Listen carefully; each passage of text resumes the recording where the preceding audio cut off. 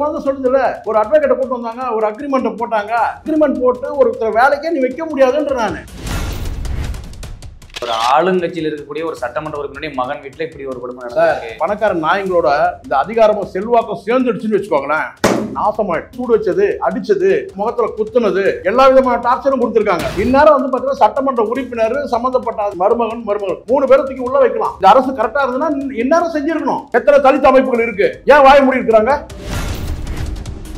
ஒரு தனி மனிதனுக்கு பாதுகாப்பு எங்க சார்? மிஞ்சி மிஞ்சி அந்த லோக்கல் காவல் நிலையம் தான். காவல் நிலையத்தில் வந்து பாத்தீங்கன்னா அவங்க வேலை பொண்ணு வந்து ஒரு புகார் கொடுத்தா எடுத்துருவாங்களா? தடுக்கிறதுக்கு நம்ம என்னதான் பண்றது? தடுக்க சார் நான் தான் சொல்றேன் சார். இதை தடுக்கிறது என்ன பண்ணுவான்னு கேட்டா எவ்வளவு சீக்கிரம் ஊத்தி மூடலாம்னு பார்ப்பாங்க. இல்ல உடனடியா நடவடிக்கை எடுக்கப்படுறதா சொல்றாங்க. இன்னைக்கு வந்து வழக்கு பதிவு பண்ணியிருக்காங்க அந்த பெண்ணுக்குரிய நீதி வழங்கப்படுமா அதுதான் சார். படுமான்ல வழங்கப்படணும். ஆனா இந்த அரசு என்ன பண்ண கொடுப்பாங்க? சேகர்பாபு விஷயத்துல மாதிரி வந்து பாத்தீங்கன்னா கடந்து போகுதா? சட்டமன்ற உறுப்பினர் நடவடிக்கை எடுக்கப்பட்டா அதை பார்ப்போம்.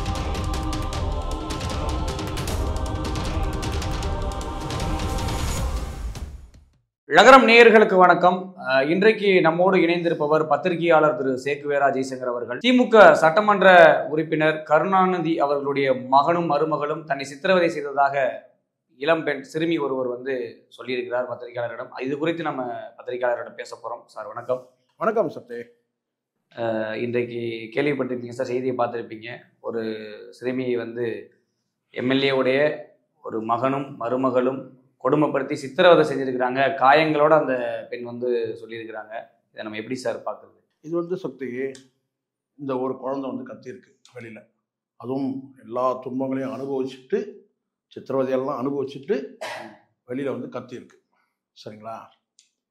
ஆனால் இன்னமும் வந்து பார்த்திங்கன்னா எத்தனையோ வீடுகளில் இன்னும் பல சிறுமிகள் வந்து இன்னும் வந்து வெளியில் கத்த முடியாமல் மெல்லவும் முடியாமல் முழுங்க முடியாமல் துன்பத்தை அனுபவிச்சுட்டு இருக்கிறாங்க. இல்லை வேலை செய்யக்கூடிய மூதாட்டிகளாக இருக்கட்டும் யாராக இருந்தாலும் பார்த்தீங்கன்னா அவங்க மனிதராக மதிக்கிறது கிடையாதுன்ற நான் மனிதராக நடத்துறது கிடையாது.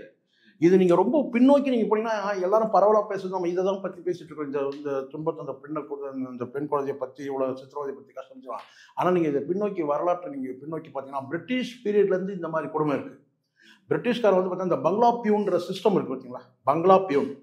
இந்த பங்களா பியூன்ன்ற சிஸ்டத்தை கொண்டு வந்து அது என்ன பங்களா பியூன்? பியூன் என்னடா பங்களா பியூன். அப்போது ஆஃபீஸ் பியூன் வேறு. அலுவலகத்தில் பணியாற்றக்கூடிய பியூன் வேறு. கிளாஸ் ஃபோர் எம்ப்ளாய் வேறு. பங்களாவில் வேலை செய்யறது வேறு. பங்களாவில் வேலை செய்யறதுக்கு அரசாங்கமே கொடுக்குது அவனுக்கு. பங்களாவில் அவனுடைய என்ன வேலைன்னு கேட்டால் அவனுடைய அத்தனை எடுப்பு வேலையும் அவனை குடும்பம் இப்போ இப்போ உதாரணத்துக்கு எடுத்துங்க. இப்போ நம்ம இருக்கோம்னா நம்மளுடைய வேலை யார் செய்வாங்க? நம்ம. நம்ம நம்ம வீட்டில் இருக்க பெண்கள் அவங்க தான் செய்வாங்க. நம்மளுடைய துணியில் நம்ம துவைக்கணும் நம்ம. சமையல் நம்ம நம்ம சர்வெண்ட் வேணும்னா கூட பார்த்தீங்கன்னா எல்லாத்துக்கும் தனித்தனி சர்வெண்ட் துணி துவைக்கிறதுக்கு ஒரு சர்வெண்ட்டு சாமான் பாத்திரம் துறக்கிறதுக்கு ஒரு சர்வெண்ட்டு அந்த ஒரு மணி நேரம் தான். அதுக்குள்ளே சர்வெண்ட்லாம் இப்போ கிடைக்கிறதே கிடையாது. ரொம்ப ரொம்ப கஷ்டம். அப்போது இந்த மாதிரி வெளியூர் வந்து பார்த்தீங்கன்னா வந்து வந்து ஏழ்மை ஏழைங்களை பாழைங்களை கூட்டம் வந்து தான் இவங்க வந்து வேலை வாங்குறாங்க. இந்த குறிப்பாக நான் என்ன சொல்ல வரேன்னு கேட்டால் இது எதுக்கு சொல்றேன்னு கேட்டால் பிரிட்டிஷ் பீரியட்லேருந்து இந்த சிஸ்டம் இருக்குது இந்த பங்களா பீரியட் சிஸ்டம் இந்த சிஸ்டம் வந்து பார்த்தீங்கன்னா பிரிட்டிஷ்காரன் போன உடனே எல்லாம் போயிடுச்சு பார்த்தீங்கன்னா கிடையாது. எதெல்லாம் தனக்கு சௌகரியமாக சாதகமோ இந்த காங்கிரஸ் கா- இந்த ஆட்சியாக இருக்கட்டும் அல்லது பிஜேபி ஆட்சியோட மத்திய அரசு எல்லாமே எதெல்லாம் தங்களுக்கு சாதகமோ அதெல்லாம் வச்சுக்கிட்டாங்க. இந்த பங்களா பென்ஷன் சிஸ்டம் இன்றைக்கும் வந்து பார்த்தீங்கன்னா வந்து மெயின்டைன் ஆகுது. ஒரு ஒரு பங்களா கவர்மெண்ட்லேயே நான் சொல்கிறேன் கவர்மெண்ட் எம்ப்ளாயே சொல்கிறேன் பங்களா பியூன்னு சொல்லிட்டு ஒரு கவர்மெண்ட்லேயே ஒரு எம்ப்ளாயை போடுறான். மூணு வருஷம் அவங்ககிட்ட அடிமையாக வேலை செய்யணும். தெரியுமா யாருக்காது மூணு வருஷம் அடிமையாக வேலை செஞ்ச பிறகு அவன் நினைச்சா அவனை பெர்மனன்ட் பண்ணலாம். யார் நினைச்சா? சம்மந்தப்பட்ட அதிகாரிகிட்ட பெர்மனன்ட் இல்லாம மூணு வருஷம் வேலை செய்யணும். அடிமையாக அவங்ககிட்ட எல்லா வேலையும் செஞ்சாகணும். இது அரசாங்கத்தில் இருக்குன்னு சொல்ல வரேன் இந்த மாதிரி கொடுமை. எல்லா வேலையும் செய்யணும் நீங்கள் எது வேணால் நீங்கள் எடுத்துங்க. அந்த வீட்டு பொம்பளை பணக்காரி என்ன செய்யணும் கேட்டால் ஒரு நாப்கின் ஜட்டியோட பார்த்தீங்கன்னா வந்து அப்படி என்ன சொல்ல இயற்கை உபாதியோட தூக்கி வெளியே வீசுவா. அதை துவைப்பான். நான் சொல்றது பங்களா பெண் ஆணும் சரி பெண்ணும் சரி. அதே மாதிரி ஒரு பெண் பங்களா பியூன் இருக்கிறாங்கன்னு சொன்னால் அவன் வந்து பார்த்தீங்கன்னா அந்த வீட்டில் இருக்கிற அந்த ஆம்பளை வந்து பார்த்தீங்கன்னா அந்த அந்த அதிகாரியோ இல்லை அந்த வீட்டில் இருக்கிற எந்த ஆம்பளை இருந்தாலும் கேட்டால் ஜட்டியை தூக்கி போனால் அதை துவைக்கணும். பாத்திரத்தை துவைக்கணும் வீட்டில் எல்லா வேலையும் செய்யணும். சில பல இடங்களில் வந்து பார்த்தீங்கன்னா மிஸ்யூஸ் கூட ஆகிடும் இது நடக்குது. பல குடும்பங்களும் மிஸ்யூஸ் ஆயிடும். இல்ல இது வேற எங்கேயாவது இப்ப நீங்க சொல்ற மாதிரி இதெல்லாம் பணக்கார நான் எதுக்கு இதை சொல்ல வரேன்னு கேட்டீங்கன்னா இன்னும் அரசாங்கத்திலே இன்னும் பங்களா பியூன் சிஸ்டம் இருக்கு. நீதிமன்றத்துல பல வழக்குகள் போய் இந்த இந்த மாதிரி துன்பங்கள் சம்பந்தமா துன்புறுத்தல் சம்பந்தமா டார்ச்சர் சம்பந்தமா பல வழக்குகள் போய் அப்படின்னும் பணி நிரந்தரம் செய்ய முடியாம வந்து பல பேர் விடும்போது நீதிமன்றத்துக்கு பல வழக்குகள் உச்ச அதுக்கு ஆதாரமே என்கிட்ட இருக்கு. நான் வேணா காட்டுறேன் உங்களுக்கு. பல வழக்குகள் உச்சநீதிமன்றம் வரைக்கும் போய் தீர்ப்பு கொடுத்து இந்த பங்களா பியூன் சிஸ்டமே எடுத்துடணும். அப்படின்னும் போது பார்த்தீங்கன்னா மோடி அரசு எடுத்தது. ஆனால் எடுக்கலை. எப்படி சொல்லுங்க? எடுத்தாங்க. என்ன எடுத்தான்னு கேட்டிங்கன்னா அதிகாரிகளே ஒரு லிமிடேஷன் இருக்கு பார்த்தீங்களா? இந்த ஏபிசின்னு இருக்கும் அதிகாரிகள் இருக்கும் அந்த பிசி எடுத்துட்டாங்க. இன்னும் சொல்ல போனால் பியில் கூட சில கேட்டகரி இருக்குது அந்த ஏபின்ற அந்த இடத்துல பார்த்தீங்கன்னா பங்களா இன்னும் மெயின்டைன் ஆகுது. அதிகாரி மட்டத்தில் நான் சொல்கிறேன் அமைச்சர்கள்லாம் அப்புறம். அதிகாரிகள் மட்டத்தில் உயர் அதிகாரிகளில் வந்து பார்த்தீங்கன்னா ஏபிசின்னு இருக்கு இல்லையா? அதை சி எடுத்துட்டான். அந்த அதிகாரிலாம் இல்லைன்ட்டான் நீங்கள் பேமெண்ட் வாங்கிக்கோங்க சர்வெண்ட்டுக்கு அப்படின்னு அலவன்ஸ் வாங்கிக்கோங்க. பங்களா பியூனுக்கு அலவன்ஸ் வாங்கிக்கோங்க. இந்த ரெண்டு கேட்டகரியும் வந்து பார்த்தீங்கன்னா இன்னும் மெயின்டைன் பியில் வந்து சில கேட்டகரிஸ் வந்து இன்னும் மெயின்டைன் ஆகுது. ஏ கேட்டகரிஸ் உள்ளவங்களுக்கு உதாரணத்துக்கு நான் சேர்மன் இந்த மாதிரி இருக்கலாம் ஐஏஎஸ் இருக்கலாம் டாப் லெவல் சீஃப் செக்ரட்டரி இந்த லெவலில் செக்ரட்டரி லெவலில் அவங்களுக்குலாம் இன்னும் பங்களா பியூன் இருக்கிறாங்க. கார் கதவு திறந்து விடுற வேலை நீங்கள் நினச்சிடாதீங்க. வீட்டில் இருக்கிற அத்தனை வேலையும் அடிமத்தனமான என்ன? வீட்டில் இருக்கிற அத்தனை வேலையும் செய்யணும். காய் நறுக்கிறது நறுக்கிறது இருந்து கடைக்கு போகிறதுல இருந்து வீட்டில் சமைக்கிறதுல இருந்து பாத்திரம் துளக்கிறதுல இருந்து துணியை துவைக்கிறதுல இருந்து எல்லா வேலையும் அடிமை மாதிரி வேலை வாங்குவான். எத்தனை மணி நேரம் வேலை? எத்தனை மணி நேரம்? எல்லாம் சொல்லுவான். எட்டு மணி நேரம் வேலை தான் சொல்லுவான். கிடையாது. இருபத்தி நாலு மணி நேரம் வேலை செய்வோம் அந்த கொடுமையெல்லாம் இருக்கு. என் தரப்புல சில வழக்குகளை எடுத்து அந்த பங்களா பியூன்ல வந்து பார்த்தீங்கன்னா பெர்மனன்ட் இது பார்த்தீங்கன்னா பெர்மனன்ட் வேலைன்னா வேற இடத்துக்கு வந்து பார்த்தீங்கன்னா மூணு வருஷம் வேலை செஞ்ச உடனே அவனை வேற இடத்துக்கு வேலை மாற்றணும் நிரந்தரம் பண்ணி பணி நிரந்தரம் செஞ்சு அவனை வேற இடத்துக்கு மாற்றணும் நானே செஞ்சு கொடுத்துருக்கேன். நீதிமன்றத்தில் வழக்கு தொடர்ந்து என்கிட்ட இருக்கு. ஏகப்பட இருக்கு. இது எதுக்கு இதை சொல்றேன்னா இது வந்து அரசாங்கத்திலே இந்த நிலைமை இருக்கு. பங்களா வந்து கொடுமைப்படுத்துற நிலைமை வந்து அரசு அதிகாரிகள் மட்டத்திலே இருக்கு. இது குறிப்பிட்டு இந்த அதிகாரி அந்த அதிகாரி இல்ல. நிர்வாகத்தில் இருக்கிற அத்தனை கேட்டகரிஸும் காவல்துறை உட்பட எல்லா இடத்துலையும் இந்த சிஸ்டம் இருக்கு. நீங்க ஏதோ நீங்க ஏதோ நீங்க வந்து போற போக்கில் வந்து குறிப்பிட்ட வந்து இந்த பொண்ணு க கதறினாங்க. அதுக்கப்புறம் வந்து பார்த்தீங்கன்னா இதோ இதோட போயிட்டு நினைக்கிறேன் இது மாதிரி இன்னும் பல இருக்குன்ற இதெல்லாம் வந்து அரசாங்க உத்தியோகமே கிடையாது. ஒரு சட்டமன்ற உறுப்பினர் அவன் தனிப்பட்ட முறையில் ஒரு பிரைவேட்டா வந்து என்ன செய்றான்? ஒரு வேலையை வச்சுக்கிட்டான். வேலைக்கு ஆளை வச்சுக்கிட்டான். அந்த பொண்ணை என்னென்ன குடும்ப பண்ணியிருக்கிறாங்க? இல்ல இது ஏதாவது சா- ஒரு சாதாரணமான ஒரு வீட்ல ஒரு ப- நீங்க சொல்ற மாதிரி ஒரு பணக்கார வீட்டுல நடந்திருந்தா பரவாயில்ல. ஒரு ஆளுங்கட்சியில் இருக்கக்கூடிய ஒரு சட்டமன்ற உறுப்பினருடைய மகன் வீட்டுல இப்படி ஒரு குடும்பம் நடந்திருக்கு. ஒரு விஷயம் நல்லா தெரியும் அதனாலதான் நீங்க பேசுறாங்க. அதனால தான் நான் சொல்றேன். நீங்க நீங்களாம் இதெல்லாம் போட மாட்டீங்க. நான் பேசுறேன் இந்த பணக்கார நாய்ங்க இன்னும் சொல்லப்போனால் இந்த அதிகார அந்த பணக்கார நாயங்களோட இந்த அதிகாரமும் செல்வாக்கம் சேர்ந்துடுச்சுன்னு வச்சுக்கோங்களேன். நாசமாயிடும். அவன் யாரும் அந்த வீட்டில் வேலை செய்கிறானோ அவன் இதுதான் இதுதான் அதுதான் உச்சபட்ச கொடுமை இது. அது நல்லா கேளுங்க. பணபலமும் அதிகாரமும் சேர்ந்துடுச்சுண்ணா சக்தி நீங்கள் இந்த நாலு காம்பவுண்டுக்கு வெளியில் வெளியில் வர்றது சாதாரண விஷயம் இல்லை. இது ரொம்ப ஆச்சரியமாக அதிர்ச்சியாக கூட இருக்குது எனக்கு. ஏன்னா இதெல்லாம் வந்து பார்த்தீங்கன்னா நிறைய கேஸ் வந்து பார்த்தீங்கன்னா ஒன்று வந்து பார்த்தீங்கன்னா ஒன்றுமே இல்லாமல் போயிடும் அது வந்து பார்த்தீங்கன்னா அதை அமுக்கி க்ளோஸ் பண்ணுறானுங்க இது மாதிரி பல சித்திரம் இருக்குது நான் இன்னும் சொல்ல பண்ணேன் பல வீடுகளில் வந்து பார்த்தீங்கன்னா வந்து நம்ம வந்து அந்த அதிகாரத்தை செல்வாக்கை பயன்படுத்தி மிஸ்யூஸ் பண்ணக்கூடிய வந்து பெண் குழந்தைங்களாம் இருக்கும். புரியுதுங்களா சொல்கிறது இதை விட கொடுமை இன்னும் இப்போ நான் கேட்குறேன் இது வந்து இதை விட கொடுமை இது வந்து சூடு வச்சது அடிச்சது முகத்தில் குத்துனது. எல்லா விதமான டார்ச்சரும் கொடுத்துருக்காங்க. கிட்டத்தட்ட வந்து ஒரு என்ன ஒரு சைக்கோ மனநிலைக்கு தான் வந்து பார்த்தீங்கன்னா அந்த மாதிரி ஆட்கள் தான் இந்த மாதிரியான வந்து கொடுமைகள்லாம் பண்ணுவாங்க பண்ணியிருக்காங்க இப்போ புரியுதுங்களா உங்களுக்கு? மிஞ்சி மிஞ்சி நீ எங்கே போவ? மிஞ்சி மிஞ்சி உனக்கு கொடுமைன்னா அந்த பொண்ணு எங்கே போகும்? போலீஸ் ஸ்டேஷன் போலீஸ் ஸ்டேஷனில் வந்து எப்படி சார் வந்து ஒரு சட்டமன்ற இப்போ நீங்கள் உடனே நம்ம வந்து ஆ போலீஸ் சரியில்லை அப்படின்னு சொல்றாரு. ஒரு எஸ்ஐயோட அதிகாரம் எவ்வளோ சார் இருக்கும்? ஒரு இன்ஸ்பெக்டரோட அதிகாரம் எவ்வளோ இருக்கும்னு நீங்கள் நினைக்கிறீங்க? அவங்க எஃப்ஐஆர் போட்டாங்கன்னா அது அதை வந்து பார்த்தீங்கன்னா கேன்சல் பண்ணுறது சுப்ரீம் கோர்ட்டில் போனாங்க நடக்காது. அது வேற விஷயம். ஆனால் முதல்ல அந்த அதிகாரத்தை செலுத்தணும்ல. இல்ல அந்த சிறுமி வந்து பேட்டியில சொல்றாங்க. அவருடைய எம்எல்ஏடைய மருமகள் வந்து நீ எங்க போனாலும் நான் எம்எல்ஏவோட மருமக என்னை பேட்டா யாரை பின்வாங்கி போயிருவாங்க? யாரை அதுதான் நான் சொல்றேன். அதுதான் நான் சொல்றேன். பண பணத்தோட பண பலத்தோட அதிகாரமும் இணைஞ்சிட்டா முடிஞ்சிடுச்சு இல்ல அதிகாரத்துல இருக்கிறவங்க தம் மீது எந்த வித அவதூறு வந்துடக்கூடாதுன்னு நினைப்பாங்க. அதுதான் சார். இவங்களை பத்தி இவங்களை தாண்டி வெளியில வர முடியாது சார். நீங்க என்ன பண்ணுவீங்க? மிஞ்சி மிஞ்சி எங்க போயிடுவீங்க நீங்க? ஒரு தனி மனிதனுக்கு பாதுகாப்பு எங்க சார்? மிஞ்சி மிஞ்சி அந்த லோக்கல் காவல் நிலையம் தான். காவல் நிலையத்தில் வந்து பார்த்தீங்கன்னா ஒரு ஈஸியாக வந்து பார்த்தீங்கன்னா ஒரு சட்டமன்ற உறுப்பினர் நேராக ஒரு வீட்டில் வேலை செய்கிற பொண்ணு வந்து ஒரு புகார் கொடுத்தா எடுத்துருவாங்களா? என்னம்மா? என்ன? சரி சரி இப்போ போ. அடுத்த முறை எதுவும் செய்ய மாட்டாங்க. நான் சொல்கிறேன் நான் பேசுகிறேன் நீ போ. அவ்வளோதான் அதனால தான் இப்போ இவ்வளோ கொடுமை நடக்குது எதனால? அவங்களுக்கு ஒரு பயம். ஐயோ இது அடி அடிச்சுட்டா இல்லை திட்டிட்டா ஏதாவது சொன்னா இந்த பொண்ணு போயிட்டு எங்க அக்கம் பக்கம் சொல்லிடுவோம் அந்த அச்சம் இருந்துன்னா பரவாயில்ல. எங்க போவாய்வா இல்ல தப்பு சார் நான் என்ன கேட்கிறேன் தப்பே கூட பண்ணிருக்கோம் சார். பெத்த பிள்ளைங்களே இப்போ வந்து பார்த்தீங்கன்னா தோலுக்கு மிஞ்சினா அடிக்க முடியலன்றா நீ வே வீட்டில் வேலை செய்யற வந்து பார்த்தீங்கன்னா அப்படி என்ன அந்த பொண்ணு பண்ணிட்டு இருக்கோம் நான் கேட்குறேன் என்ன செஞ்சுட்டு இருக்கோம்? இல்ல சம்பளத்துக்கு காசு கொடுத்து நம்ம வேலைக்கு வைக்கிறது வேற. முன்கூட்டியே முன்பணம தொகைமையா ஒரு லட்சம் கொடுத்தாங்க ரெண்டு லட்சம் கொடுத்துட்டு அவங்க கிட்ட வந்து வச்சுக்கிறதுக்கு பேர் என்ன சார்? கொத்தடிமையா தானே இது மாதிரி. அதுதான் சக்தி நான் சொல்றேனே. பாண்டட் லேபர்னு இது பேர். பாண்டட் லேபர் வந்து பார்த்தீங்கன்னா அதை ஒழிக்கிறதுக்கு அது அதுக்கான தனி சட்டமே இருக்கு. நம்ம அதை பற்றி பேச ரொம்ப விரிவாக போகணும். இதெல்லாம் பாண்டட் லேபர் தான். ஆனால் அது வந்து பார்த்தீங்கன்னா வந்து பணியாச்சு அதை தடை செய்யாச்சு. செய்தாச்சு. ஆனால் தடை செய்யப்பட்டாலும் கிட்டத்தட்ட பாண்டர்ல லேபர் நான் சொல்லுதில்ல அந்த குழந்தை சொல்லுதில்ல. ஒரு அட்வொகேட்டை கூட்டு வந்தாங்க ஒரு அக்ரிமெண்ட்டை போட்டாங்க. நான் திரும்ப திரும்ப சொல்றேன் ஒரு அக்ரிமெண்ட் போட்டு ஒருத்தர் வேலைக்கே நீ வைக்க முடியாதுன்ற நான். முழுசா நீ வந்து பார்த்தீங்கன்னா ஒரு அரசாங்க நிறுவனம் இல்லை தனியார் நிறுவனமாக இருந்து அந்த நிறுவனத்தில் வந்து நீங்கள் பணியாளர் நியமிச்சு அந்த சட்ட சட்டத்திட்டங்களுக்கு உட்பட்டு பணியாளர் ஊழியர் நல சட்டத்திட்டங்களுக்கு உட்பட்டு தான் நீ வந்து அதை வந்து பார்த்தீங்கன்னா அப்பாயின்மெண்ட்டோ ஏதோ பண்ணணும்.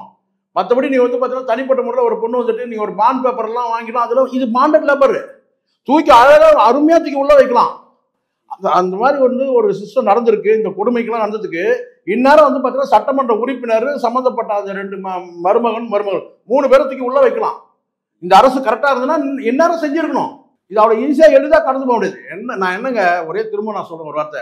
உனக்கு வி- விருப்பம் தான் நீ வேலைக்கு வச்சுக்கிற. அது இன்னும் அந்த குழந்தை வந்து பார்த்தீங்கன்னா ஒரு விஷயம் என்ன தெரியல. அது வந்து வந்து சைல்டு லேபரா அல்லது வந்து பார்த்தீங்கன்னா வந்து வயது வந்த பெண்ணான்னு தெரியல.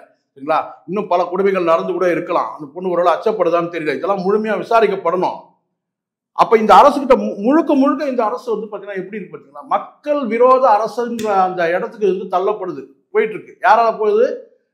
வெளியாட்கள் மா- மாற்று கட்சியால போல. அந்த கட்சியில் இருக்கிற அமைச்சர்கள் சட்டமன்ற உறுப்பினர்கள் அவர்களை சார்ந்தவர்கள் இவங்கெல்லாம் எங்க போறாங்க? சார் இதை தவிர்க்க முடியாம இந்த இடத்துல வந்து நம்ம வந்து சேகர்பாபு விஷயத்த பேசிதானே சார் ஆகணும். சேகர்பாபு மகளுக்கு ஒரு ஒரு பிரச்சனை வந்தபோது பாத்தீங்கன்னா அது வந்து காதம் காதம் வச்ச மாதிரி பண்ணாரு. ஏதோ ஒன்று பண்ணாரு. ஆனா அது வந்து வெளியில வந்தது இல்லை அப்ப முழுக்க முழுக்க காவல்துறை வந்து பாத்தீங்கன்னா வந்து யார் பக்கம் இருந்தது? அமைச்சர் தானே சார் அந்த காவல்துறை ஆதரவா இருந்தது. இது உண்மை தானே வெளிப்படையான உண்மை தானே இது என்ன செய்யணும்? ஒரு குடும்ப பிரச்சனை. ஒரு த தகப்பனுக்கும் வந்து ஒரு மகளுக்கும் உள்ள பிரச்சனைன்னு சொல்லி நம்ம எளிதாக கடந்து போனோம். ஸோ இது வந்து பார்த்தீங்கன்னா அது அவங்க உள்ள குடும்பத்தில் இருக்க ஒரு காதல் பிரச்சனை அப்படியே போயிட்டோம் நம்ம. சரிங்களா? அதுக்கப்புறம் நம்ம அது கூட நம்ம பின்னாடி நம்ம வந்து ஆழமாக போக வேண்டிய அவசியம் இல்லை அப்படின்றத எல்லாருமே கடந்து போயிட்டோம். இப்போ இது? இதையும் கடந்து போயிடுவோமா? இந்த அரசு? சின்ன குழந்தை அந்த பெண் வந்து சிறுமி வந்து இன்னைக்கு ஒரு பட்டியலினத்தை சேர்ந்த ஒரு குழந்தை அப்படின்னு பட்டியல் பட்டியல். இனமே இல்லைன்னு குறிச்ச முதல்ல நம்ம அடுத்த கட்டம் சார் அது. பட்டியல் வகுப்பு சார்ந்தாலும் பட்டியல் அல்லாத வகுப்பு சார்ந்தாலும் அடுத்த கட்டம். முதல்ல வந்து பார்த்தீங்கன்னா வந்து ஒரு பெண். அந்த பெண் வந்து பார்த்தீங்கன்னா அது வந்து பார்த்தீங்கன்னா சிறுமியா இல்லை வந்து பார்த்தீங்கன்னா வந்து பார்த்தீங்கன்னா இல்லை வயது வந்து பெண்ணான்றதே இன்னும் நமக்கு தெரியல. ஏன்னா அந்த அந்த தோற்றத்தை வச்சு அது ஒரு பக்கம். ரெண்டாவது நான் என்னன்னு கேட்டிங்கன்னா அது ரெண்டாவது நீங்கள் வந்து பார்த்தீங்கன்னா நீங்கள் சொல்லக்கூடியது வந்து பார்த்தீங்கன்னா வந்து இப்படி தான் அந்த பாண்டட் லேபர்லாம் யாரை கூப்பிட்டு வராங்க நீங்கள் நினைக்கிறீங்க? வறுமையில் கோரப்பிடியில் அடுத்த வேலை சாப்பாட்டுக்கு இல்லாதவங்கள இவங்கள தானே சார் அனுப்புவாங்க? பணக்கார வீட்டுங்களுக்கெல்லாம் வந்து பார்த்தீங்கன்னா வந்து ஏழை பழையங்களை தானே சார் வந்து கேட்கறதுக்கு ஆளுங்க இல்லை சார். யார் சார் கேட்க போகிறாங்க யார் கேட்டுருவாங்க? பயம் வரும். ஏன் இதெல்லாம் பெருசுனாக்கா அவர் யாருங்க? ஒரு சட்டமன்ற உறுப்பினருங்க. அவர் நினைச்சா தூக்கி வச்சிருவாருங்க. உள்ள தூக்கி வச்சிருவாருங்க. எதுக்கு நம்ம இதெல்லாம் பேசணும்? எதிர் வீடு எதிர் வீடு நினைக்கிறீங்களா? நான் சொல்கிறேன் இப்போ அந்த பெண் குழந்தை அந்த அந்த குழந்தை பேசுது இல்லை. அந்த எதிர் வீட்டுக்கோ பக்கத்து வீட்டுக்கோ மூணாவது வீட்டுக்கோ நாலாவது வீட்டுக்கோ நீங்க தெரியாது நீங்க நினைக்கிறீங்க? இந்த மேட்ரை தெரிஞ்சிருக்கும்ல. கண்டிப்பா தெரிஞ்சிருக்கும்.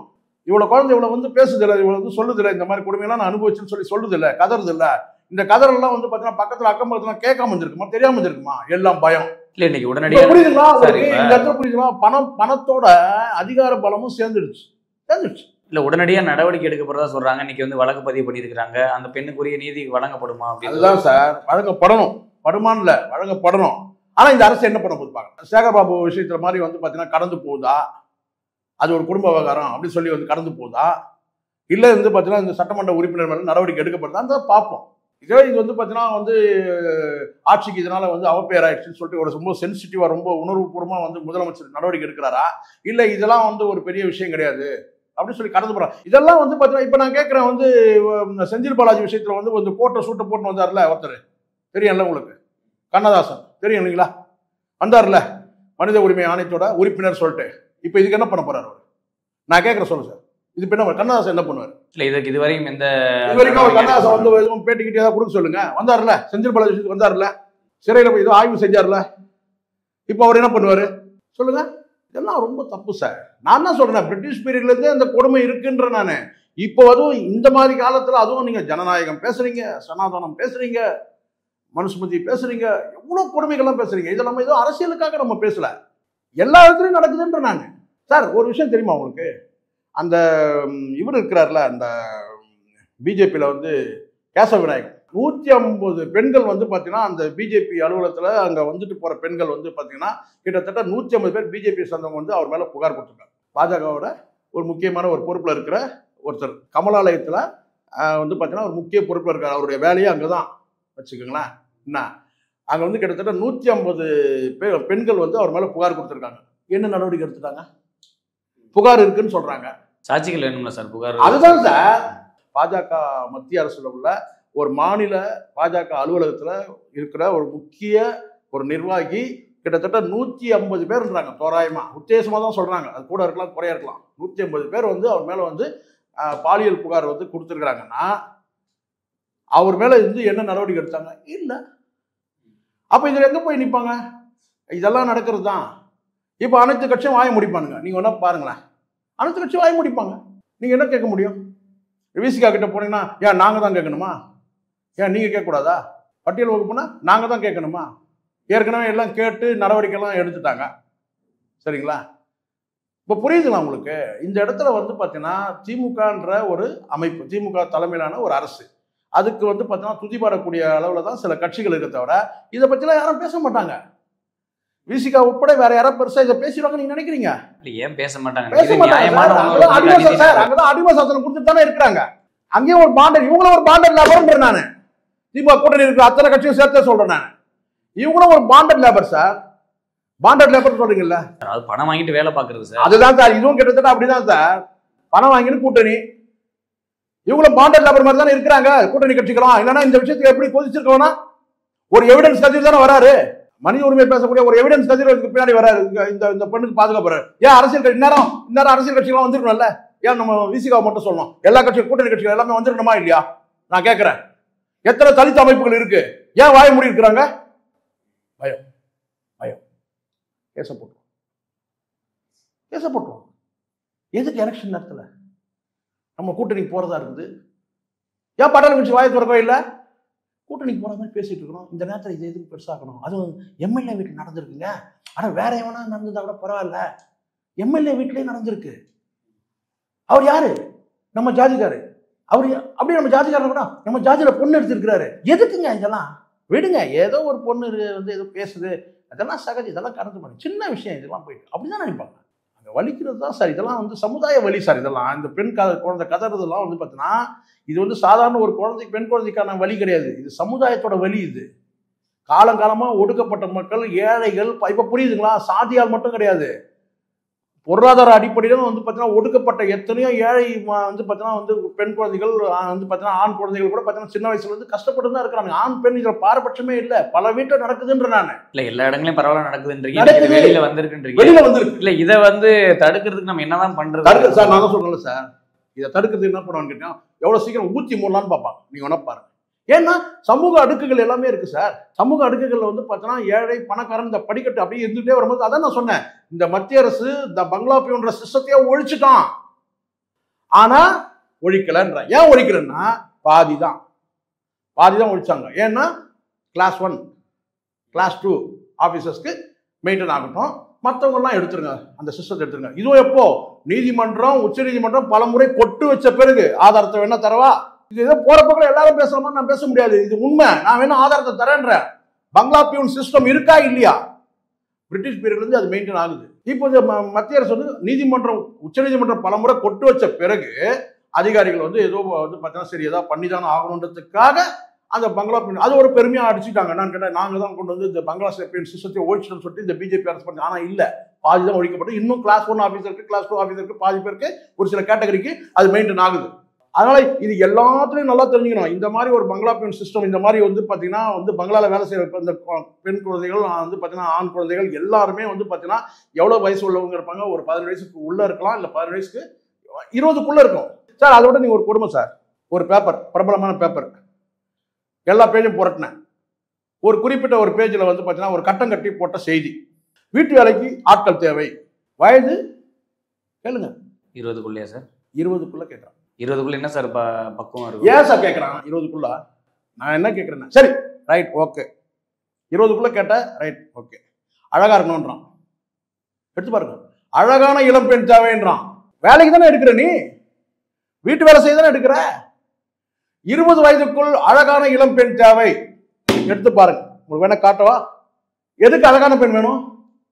வீட்டு வேலைக்கு? இப்போ புரியுதா உங்களுக்கு? எல்லா தேவைகளும் பூர்த்தி பண்ணுறதுக்கு தான் கேட்குறான் இதில் இன்னும் சில பேர்லாம் கேட்பான். நீங்கள் பார்த்துருப்பீங்க. எந்த விதமான சிக்கல் இல்லாத இளம் விதவைகள் கேட்கலாம். வீட்டு வேலைக்கு. எடுத்து பாருங்க சார். பிரபலமான பேப்பரில் இருக்கு நான் பேரை சொன்னால் நீங்கள் போட மாட்டீங்க. அதுக்காக சொல்கிறேன் ஆட்கள் தேவைன்ற பகுதியில் போட்டிருப்பான். பாருங்கள் எடுத்து பாருங்கள் நான் இதெல்லாம் படித்தது இல்ல இது மாதிரியான இப்ப வீட்டு படிச்சது இல்லை. இதெல்லாம் கடந்த ஒரு ரெண்டு மூணு வருஷத்துல நான் படிச்சது. இல்ல வீட்டு வேலைக்கு போறவங்களுக்கு வந்து இன்னைக்கு துறையில வீட்டு வேலை செய்யறவங்க யாருக்குமே வந்து பார்த்தோம்னா சுதந்திரமும் கிடையாது. பார்த்தீங்கன்னா அவங்க கிட்ட இருக்க எதுக்குமே கேரண்டி கிடையாது சார். நான் சொல்றேன் சார். பெரும்பாலும் சொல்றேன் சார். இல்ல அதுக்குன்னு சம்பந்தப்பட்ட துறை இருக்கு. அவங்க அதுக்கான பாதுகாப்பை உறுதி செய்யணும். துறையும். அவங்களுக்கு பாதுகாப்பு கிடையாதுன்ற நான். அதுவும் இந்தியாவுல இன்னும் நான் சொல்றேன். பங்களா பேமெண்ட் சிஸ்டத்தை இன்னும் ஒழிக்கலன்றேன் நான். மத்திய அரசே ஒழிக்கலன்றேன். நீதிமன்றம் மறுபடியும் தலையிடணும். நீதிமன்றம் தலையிட்ட பிறகுதான் உச்ச நீதிமன்றம் தலையிட்ட பிறகுதான் பங்களா பேமெண்ட் வந்து பாதி அதிகாரிகள் எடுத்துட்டான். பாதி அதிகாரி உயர் அதிகாரிகள் இன்னும் இங்க இருந்து இது வரைக்கும் எடுத்தாச்சு. இங்க இருந்து இருந்தது. இங்க இருந்து இது வரைக்கும் எடுத்தாச்சு. பங்களா பேமெண்ட் கிடையாது. இன்னும் இது வரைக்கும் இருக்கு. இப்ப ஒரு பக்கம் வந்து வீட்டு வேலையவே செஞ்சு தங்களுடைய வாழ்வாதாரத்தை பாத்துக்கிறக்கூடிய மக்களுடைய நிலைமை சார் இந்த இடத்துல நல்லா கேட்டுங்க சார். இங்க ஏழ்மை தான் சார். இங்க நம்ம மக்கள் ஏழ்மையா இருக்காங்க சார். இன்னும் அந்த ஏழ்மை ஏழை பணக்கார சிஸ்டமே போலியா சார் இன்னும்? இருந்து தானே சார் இருக்கு. பணம் படிச்சவன் ரெண்டு வகையில இருக்கிறான். ஒருத்தன் பணம் படிச்சவன் பணமும் அதிகாரமும் படிச்சவன் இவங்க கிட்ட தானே சார் இங்கே வந்து இருக்கிறோம். நடுத்தர வர்க்கம்னு ஒன்று இருக்குது. அந்த நடுத்தர வர்க்கத்தை தாண்டி ஏழைகள் இருக்கிறாங்க சார். அவங்களுக்கு மூணு வேளை சாப்பாடு தான் சார் அவங்களுக்கு வந்து இலக்கு. டார்கெட்டு ரெண்டு வேளை தான். இன்னும் சொல்ல போனால் பல வீட்டில் ரெண்டு வேளை சாப்பாடு தான் சார் எதிர்காலமே அவங்களுக்கு டார்கெட் இலக்கே தான் நம்ம வேற எதோ இலக்கு வச்சு போறோம்ல. இந்த வருஷம் இதை பண்ணிடணும் அடுத்த வருஷம் அதை பண்ணணும் அடுத்த வருஷம் அவங்களுக்கு தினம் ரெண்டு சா ரெண்டு வேளை சாப்பாடு தான் இலக்கேன்றேன். அப்போ அந்த மாதிரி மக்கள் என்ன ஆகும்? நான் கேட்குறேன். அந்த மாதிரி மக்கள் தான் சார் இவனை யூஸ் பண்ணிக்கிறானுங்க. இப்போ புரியுதுங்களா? யார் உண்மையாக ஒடுக்கப்பட்டவங்கன்னு தெரியுதுங்களா இப்போ? உண்மையாக ஒடுக்கப்பட்டவங்கன்னு கேட்டால் ஏதோ சாதியால் மட்டும் நீங்கள் நினைக்காதீங்க. சாதியாலும் அதன் பிறகு பொருளாதாரத்தில் இப்போ இதே வந்து கேட்டால் அந்த பட்டியலின வகுப்புல வந்து பார்த்தீங்கன்னா ஒரு மேம்பட்ட மக்களாக இருந்தாங்கன்னா ஒன்றுமே பிரச்சனை இல்லை. அங்கே வந்து பார்த்தீங்கன்னா அவன் பொருளாதாரத்திலையும் வந்து பார்த்தீங்கன்னா பின்தங்கி இருக்கான் சாதியாலும் பின்தங்கி இருக்கிறான்.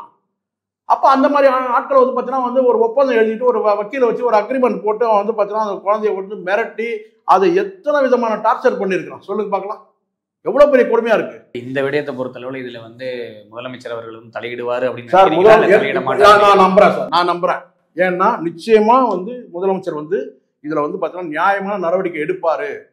மற்ற முதலமைச்சர் நீங்க ஏற்கனவே ஜெயலலிதா வந்து ஒரு ஒரு அமைச்சர் மேலே யாரும் நடவடிக்கை எடுத்திருக்கிறாங்க. இது மாதிரி ஒரு பிரச்சனை வந்தபோது ஏதோ ஒரு பிரச்சனை வந்து அமைச்சர் மேல வரும் பிரச்சனை வரும்போது பார்த்தீங்கன்னா சரியா நினைவில் ஒரு அமைச்சர் மேலே நடவடிக்கை எடுத்திருக்கிறாங்க இந்த மாதிரி. அதே மாதிரி வந்து பார்த்தா இந்த இரண்டு திருமணம் பண்ணிக்கிறது இந்த மாதிரி பிரச்சனைலாம் வரும்போது கூட நடவடிக்கை எடுத்திருக்கிறாங்க. முதலமைச்சர் ஜெயலலிதா அவர்கள் நடவடிக்கை எடுத்திருக்கிறாங்கன்றது எனக்கு ஒரு நினைவு இருக்குது சரியான மு- முழுமையான நினைவு இல்லை ஏதோ ஒரு ஒரு அமைச்சர் மணி சட்டமன்ற உறுப்பினர் நடவடிக்கை எடுத்திருக்கிறாங்க. இரண்டு மனைவி பிரச்சனை இந்த மாதிரி வந்து எடுத்திருக்காங்க. ஆனால் இது வந்து பார்த்தீங்கன்னா முதலமைச்சர் இது முதல். சரிங்களா? மற்றது வந்து பார்த்தீங்கன்னா கல்வி சுவாங்க அவர் மாதிரி நடவடிக்கை எடுத்தாருன்றாங்க. இந்த வந்து பார்த்தீங்கன்னா வந்து பல சில அமைச்சர்கள் வந்து எச்சரிக்கை தான் நிறைய கொடுத்துட்டு இருக்கிறார் அமைச்சர் முதலமைச்சர் பொறுத்த வரைக்கும். பல விதமான எச்சரிக்கை கொடுக்குறாரு. முதலமைச்சர் ம- க ஸ்டாலின் பொறுத்த வரைக்கும் அந்த எச்சரிக்கை வந்து எச்சரிக்கையாகவே இருக்குது அந்த எச்சரிக்கையை இவங்க யாரும் மதிக்கிறதே கிடையாது.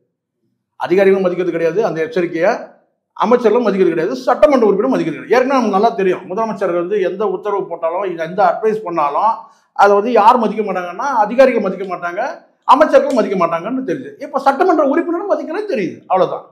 இது மேற்கொண்டு என்ன நடவடிக்கை எடுக்கிறாருன்னு பார்ப்போம் முதலமைச்சர். சார் உங்களுடைய கருத்துக்களை பதிவிட்டு மிக்க மிக்க நன்றி சார். நன்றி.